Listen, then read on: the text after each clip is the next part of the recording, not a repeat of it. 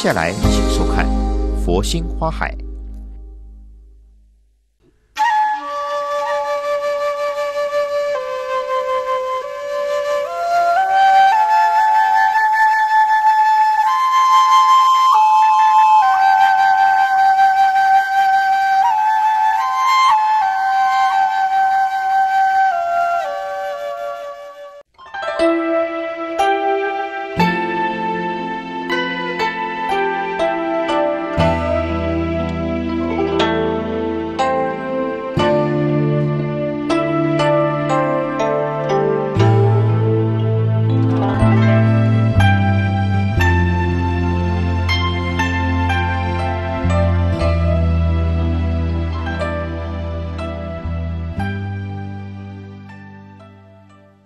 位大德，各位爱花的菩萨们，大家好，阿弥陀佛。欧阳修呢，他有一首诗呢，他说呢：“浅红深绿宜相见，先后人须次第栽。我欲四时须酒赏，莫教一日不花开。”那我们很难想象一个这样的一个欧阳修呢，啊，他也会这么的，呃，对于花有这么独特的一个情怀，啊。他会提到说怎么样去种花啊，那前后怎么样去种啊，那颜色怎么搭配啊？他说呢，他希望随时随地都可以去赏赏到花啊，那希望他每次去赏花的时候，花都能够这么的啊生意盎然的开放啊。那从这样子的一个过程中呢，我们这个诗中呢，我们就会发觉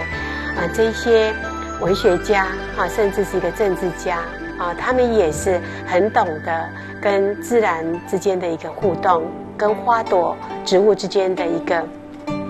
互相的一个欣赏啊。那我们今天呢，也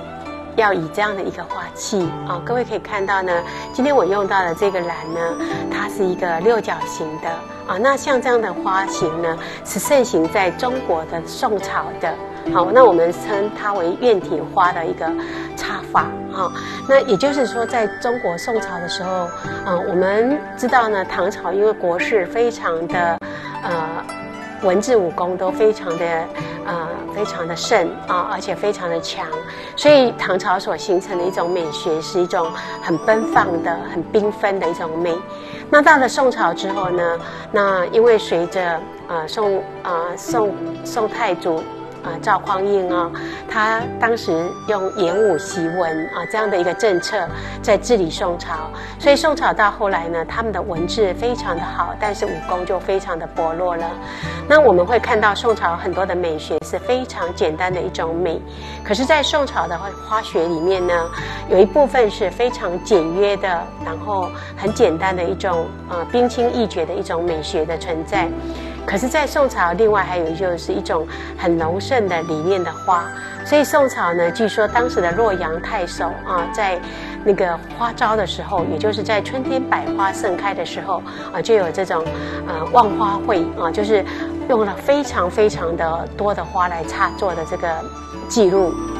那我们今天要用这样的一个篮子啊，那来插做一个，哎，也是属于比较隆盛型的一种插花的方式啊。那各位爱花菩萨可以看到呢，我今天用的这个这个呃花材呢，我们称它为呃叶干啊。那有的人也称它为呃红蝴蝶哈，或者是蝴蝶花啊。因为呢，其实嗯，因为我们录影的时候已经是在下午了啊。那这个花呢，它是嗯。最有精神的时候是在早上，也就是这个这个叶干呢，它在那个嗯下午之后呢，它的花就谢掉了哈。各位爱花菩萨可以看到，我现在剪下来的这一朵呢，其实是今天盛开的花，好，然后呢，各位可以看到，呃，这这个枝里面，像这一朵花呢，它就是明天要开放的花。那这个就是已经是昨天凋谢的花了哈，昨天开过的花，然后它就会结成一个果实啊。那各位可以看到，它慢慢就会结成像这样的一个果实啊。然后这个果实在这个呃壳里面就会变成黑色的。好，那我们只要把那个壳呢再撒在地上，那来年呢就会从地上就会长出很多，呃，在春天就发出呃它的新芽出来了哈，所以它的生命的循环周期是非常的快速的。好，那在同一株中呢，我们就会看到，呃，它的花开花谢的这个一个过程。哈，好，那我把这个叶干呢，哈，就是啊，让它呢前后次序有一点点啊这样子。呃，散开来的一个感觉啊，让它插高啊来应用哈，因为这个花呢，在其实，在呃呃春天开始啊啊，它就开始从那个地里面呢，那抽芽吐枝啊，然后接下来就含苞绽放啊，然后呢，呃，你每天都会看到它都会在那个呃尾端的地方呢开出一些花来啊，然后它的花期还蛮长的。好，可以从每年的大概四五月开始，一直开到九月、十一月。啊，那后来呢？我发觉我们在我们很多的行道树路上呢，都会种满这样的花。啊，那它还有一个名字叫做红蝴蝶或蝴蝶花，因为它花开的时候，就像一朵朵红色的蝴蝶停在那个呃，停在这个呃树梢，就就是在那个呃。那个叶末尾端的感觉哈，那有人又叫它蝴蝶花好，那呃，它另外还有一个名字叫快扇，因为它的这个叶片呢，啊像一个扇子一样的形状哈。我记得有一位那个呃老师呢，他有一次第一次来我家上这个插花课，然后我给他用的花材就是这个叶干哈，结果他呃插了。他来他来上课的时候是已经是黄昏的时候了哈，因为老师下了课才来上课的。然后他呃那个第二天早上呢，好以为这个呃叶干本来就长得这个样子，就没有想到第二天早上呢，他一起床之后呢，结果发觉整个屋子里面呢这个。呃，这个叶干通通开花了，然后一朵一朵的花盛开，哇，他开心的不得了，就打电话给我说，哇，老师真是美极了。他说，那个。好像满满的那个蝴蝶飞在他的屋子里面，他觉得好喜悦、好开心哈。那我用了一点点的叶兰，那有一点刻意的把叶片表现出来，因为到了这个季节呢，这个叶干呢，它的那个叶子就变成很少了哈。否则的话，它在刚开始春天的时候是只有叶子啊，那我们就可以用它的很长的叶子呢来做我们的下段做修饰，好像这个就是叶干的这个叶子，那我们就可以。哎，用它来做一些修饰跟运用。那因为今天比较特别的，就是说，因为我要插一个呃四面花，也就是龙盛型的四面花，所以呢，我用的是海绵。那海绵要插叶子的时候，各位阿花菩萨可以看，它是比较有一点点困难度的，哈，不是不好，不是很好插哈。所以我就用了这个呃叶子去收它的下段，才不会感觉它的下段太多了、太乱的感觉，哈。所以那这样子也会形成另外一种把这个。金边叶兰呢，这个呃斑纹的叶兰呢，充分的表现出来的感觉，哈好，那接下来呢，我用一些些的松啊，因为我们今天有几支的松呢，还蛮美的，好，那我把这个松呢拉做它的呃的外围的一种层次的感觉，哈好，比如说我把这个花型呢，整个把它拉开来，好，比如说好，我们试试看哈，我们把它拉开来。让它有上段，然后有中段，有下段的感觉哈。可是阿花菩萨可以看到呢，我现在把这些松呢，哈，啊，参差的从呃东南东北西南西北四个角落哈来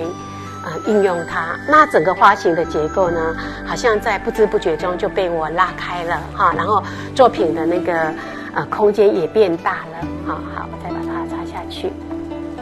好，那这种。这种兰花呢，它非常的好用哈，因为呢，它呃，像我们有很多的师姐啊，在道场里面插花，她就说啊，老师我特别的喜欢这个这个兰哈，因为她说哪里需要用这个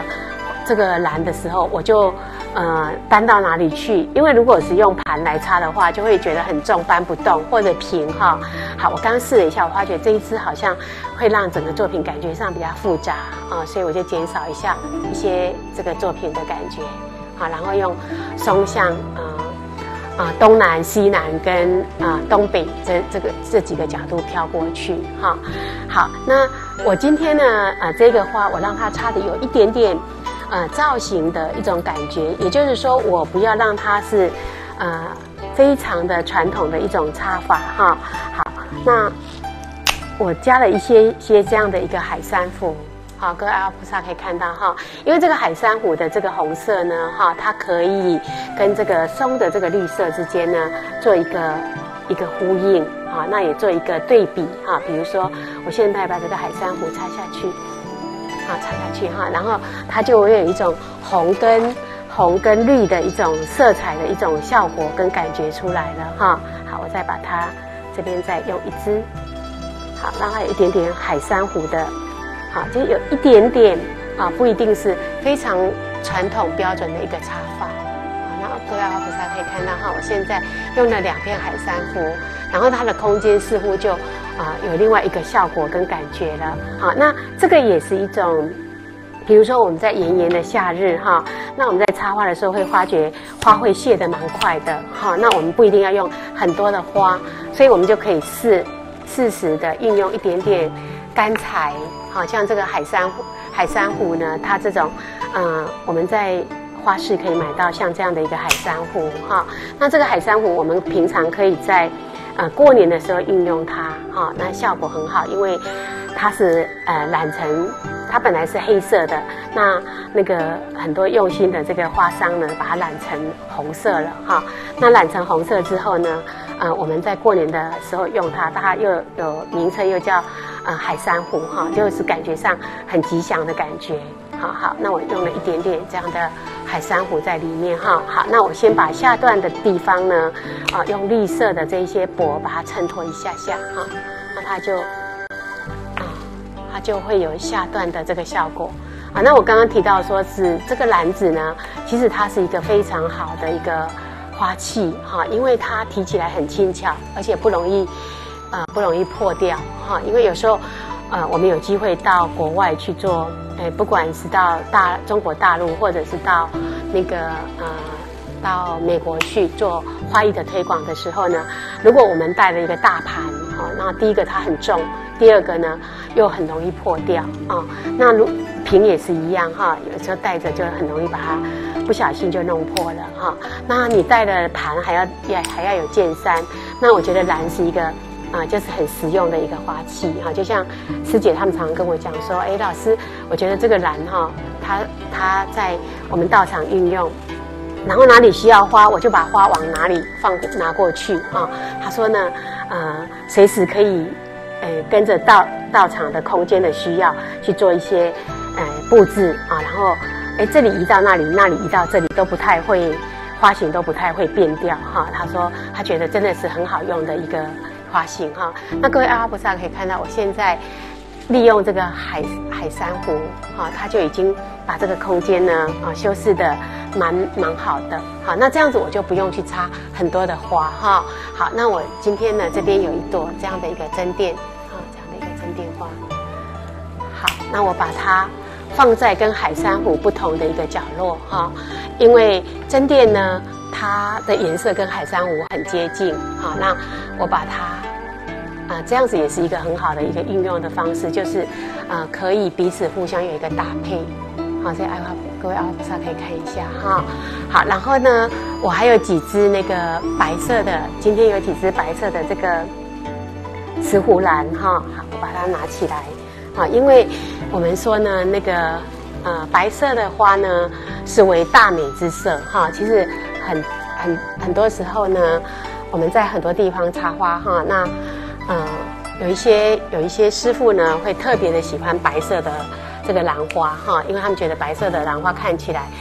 嗯很干净的感觉。那白色呢，其实它象征一种完美跟高洁啊，就是生命品质的一种完美跟高洁哈。这边有两支，我就把它用同样的方向啊把它插起来。好，那其实呢，这个呃兰呢，我们讲说呃每一种花型呢都有它的一个特色，也就是说呢，呃兰贵端庄啊，就是兰花呢，它最可贵的地方就是插起来花型要很端庄哈。好，那各位阿婆可以看到我用两朵白色的这个。呃，石斛兰插过来的感觉，好，好，那我现在呢，再把它的前段的这个主花的部分哈，做一些陪衬哈，好，比如说呢，啊，我用一点点的这个，呃，这个粉色的小花啊，好，这个粉色的小花做一点点色彩的效果，啊，虽然我们刚刚说过，我们是插一个龙胜兰，哈，但是。我们不一定要用到很多很多的花啊，因为这个兰呢，可以花可以多，也可以少，哈。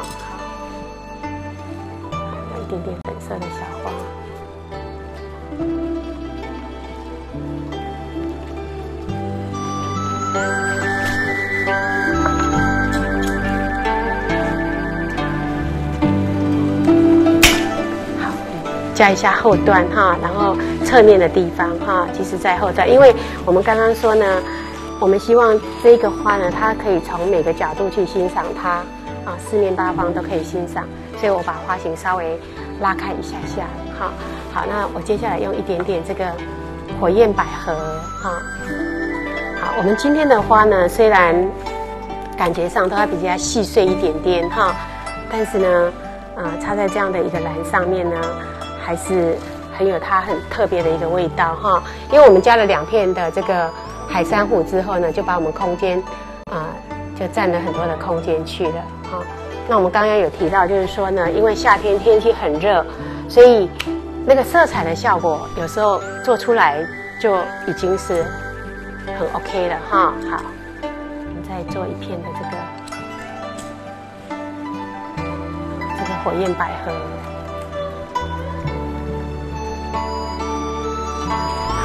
因为这些火焰百合它本身都比较弯曲，好，让我让这个火焰百合两支呢，啊，这几支放在一起，啊，那我们插花的时候有两个两一两个方式哈，一个方式就是说呢，你把同样的花尽量的插在一起，啊，这是一个方式，就是说呢，呃，像我们在西方，我们在。国外的时候，我们会看到，哎，这个区块通通做的种的都是郁金香啊，那这个区块呢种的通通都是啊水仙百合啊，那你就把同样的花通通把它种在一起哈，那插在一起，这是一个方式。那另外一个方式呢，就是说你把两种不同的花呢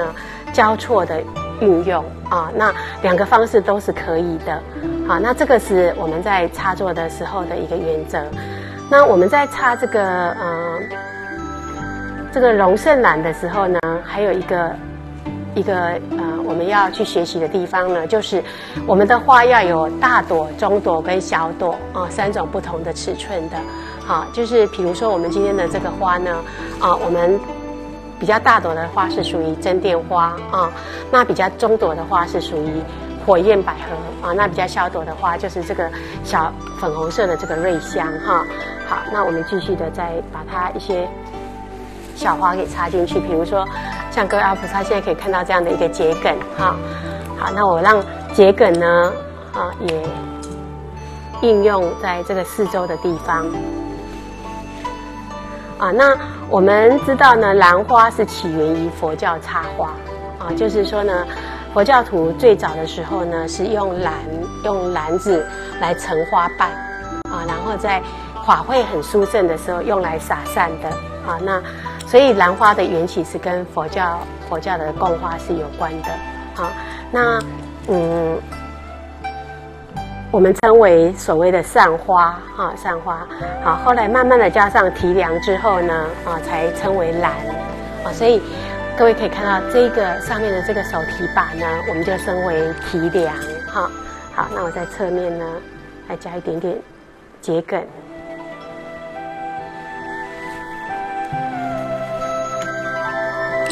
好，在侧面的地方，我再加一点点的这个桔梗。好，那我现在就是把这些桔梗呢，啊，整个在整个篮子的呃右边，也就是东南方的地方呢，以这个桔梗来做色彩的部分啊，因为我们之前也提过呢，啊，其实紫色的色彩呢，啊，它是非常受到很多人喜欢的哈，因为和我发觉好多的我身边的这些呃这些学生啊，或者我们这些朋友啊。都非常的喜欢紫色的哈，因为紫色的色彩会感让人家感觉很，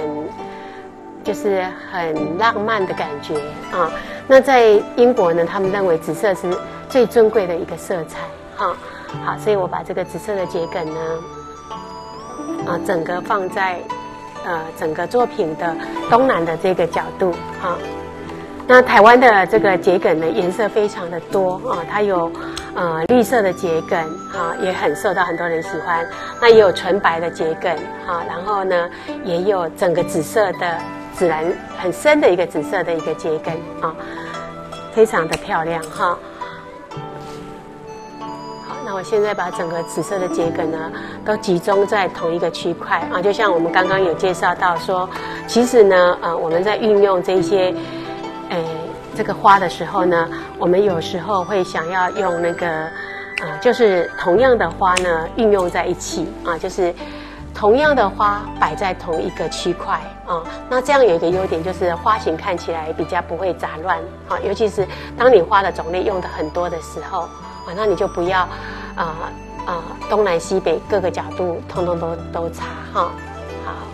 啊，那我们在。其实这个花插花哈最好运用的一个呃花材呢，就是用呃芍药或者牡丹花来插作哈。但是呃，因为有时候随着季节的变化不同哈，还有呃季节的感觉不一样，我们就可以采用不同的一些呃花材来插作它哈。好，这边还有两朵桔梗，我再把它用到后段的这个地方。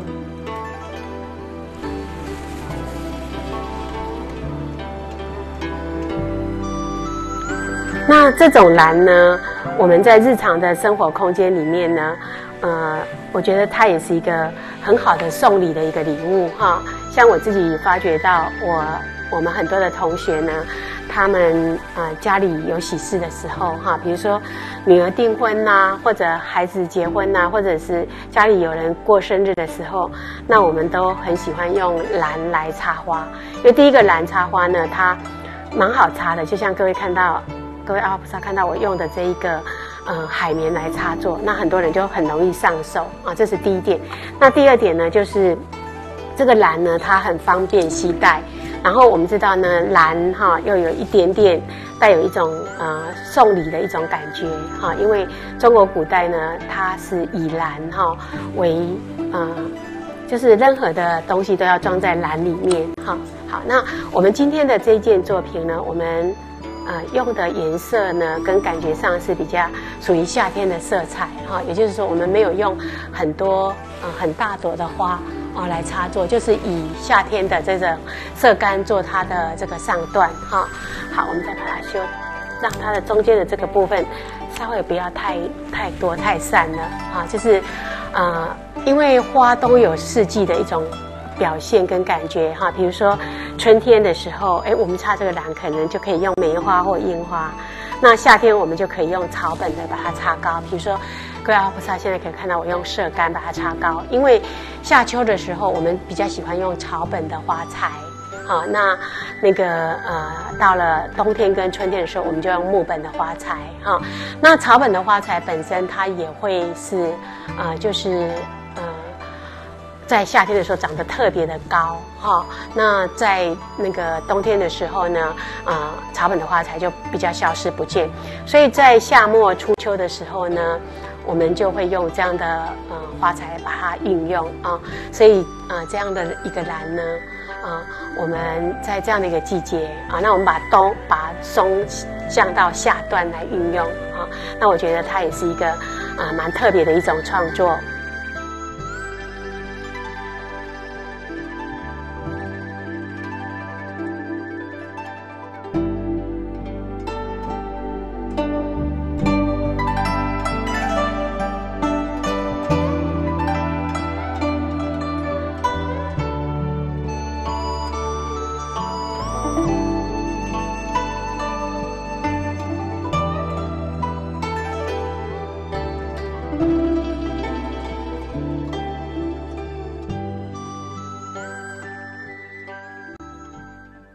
好，那我们接下来呢？啊，各位爱花菩萨可以看到我的前面有两个这样子很有造型的呃两个花器哈。那我想要跟呃各位爱花菩萨分享的就是说，有时候我们可以用怎么样最简单的方式去做一些创作哈。比如说像这样的两个花器呢，那呃各位爱花菩萨可以看到我这边手上有两个呃有一个这样的一个这个。竹子的根部啊，竹子的根部哈，那我把它架起来，那两个作品就好像合而为一的感觉哈。好，那各位阿花菩萨可以看到，我手上有两颗这样的一个呃蝴蝶兰哈。其实这个蝴蝶兰我都大概放了呃好几个月的哈，供在佛前了啊。那它的花已经开到尾端了，那在这个时候我就把它拿起来做一些呃创作啊，创作花艺的一个创作哈。好，然后呢？我可以这样很简单的啊，利用这一个啊，这个哈，这个呃竹子的根部的这个地方哈，然后呢啊，我再把它这个蝴蝶兰呢放到这一个花器的里面，好好，我放进去了一个了哈，好，那我再利用这边的空间呢，我再放另外一个蝴蝶兰，啊好，我们把它稍微的挪一下位置，啊，然后我们把它。的呃蝴蝶兰的正面呢，我们把它表现出来。好，有时候你可以放到花器的里面。那有时候如果说像我现在这个花器，它会有一点点不是很好放哈，那没有关系，我们也可以在外面的地方哈，就是很自然的就这样给它放下去就好了哈。那当然，我们最重要的，我们在放这两只蝴蝶兰的时候，要让它呃互盼有情。也就是像我们插花的时候，就是说两朵花之间要一点点互相的呃对看的感觉，哈，好，那我觉得这是一个很简单又很快速的一个插花的方式啊，就像我们现在把这件作品这样弄做起来了，哈，那这个是呃，就是像我们说的，我们可以用随手所得、随手可得的一些。呃，简单的素材啊，然后可以做一个这样的一个创作的作品啊。因为有时候我们会发觉临时呃需要做一些创作，可是又没有时间去找花材或者买花材，那你就可以用现有的这些呃你现有的花器，那现有的这个竹根啊，然后用简单的这个蝴蝶兰，就变成一个很美的一个创作了哈。那如果说像我有一个在这样的一个呃。竹根啊，那我们就可以上下两个啊结合在一起啊，那就变成一个很特殊的啊，那很有一个艺术氛围的一个作品啊，所以啊这样的一个呃感觉呢，也是我很希望跟很多爱花的朋友分享的啊，因为有时候我们会插作一些真正的很很以花艺。那个手法哈跟技术为主的一些作品，那有时候呢，我们也会发觉，其实这么简单的一个作品，让你随时都可以呃想要做就就会做啊。那我觉得这个部分也是很重要的，因为很多的人他不见得是学过很久的花啊，那他也不一定有这样的一个技法。那其实呢，插花是一个很。很舒服的一件事，也是一个很轻松的一件事情啊。那我们可以很随心所欲的想创作就创作，然后，啊，也借这个机会，然后放松一下自己的身心。那我觉得这就是一件很棒、很愉快的事情，想跟大家分享的啊。那二零一四年的秋天，非常的感恩有这样的一个因缘，再一次的录制《佛心花海》那感恩我们的导演、我们的摄影师啊。那感恩生命电视台。啊，那更感恩我身边的，啊，这些老师们啊，他们啊不分昼夜的帮